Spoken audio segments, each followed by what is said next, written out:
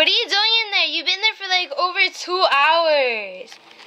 Nothing. What? I, it, it can't come out. I can't get it out. What? What can't you get out? What do you think? Oh my God. You're having a baby? Pushing. Okay, I'm pushing, Luna. I'm trying. Okay. Are you for real? Stop kidding around. No. Uh, what? What? Do you want? I'm putting on makeup. What?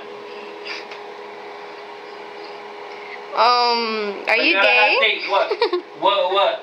What? So now you know. Okay. What? What? You gonna tell mommy I know? I don't care. Tell her. I don't care. I'm gonna see Barry tonight. He, I met him on the internet. He's a really nice guy, and I, maybe you'll meet him one day, and we'll all have cocktails. Okay? But um, I for now I just need you to keep this nice and quiet. Okay? Because I don't want my parents to find out. Um, I'm gonna tell mom. No, you're not. Why? So I'll tell her about the text message you get from from all your boyfriends. I don't have a boyfriend. Yeah, right. Who? I know everything. I know everything. I, I know how to I know how to work the histories on your damn computer, girl. Damn it, damn you. Does it look?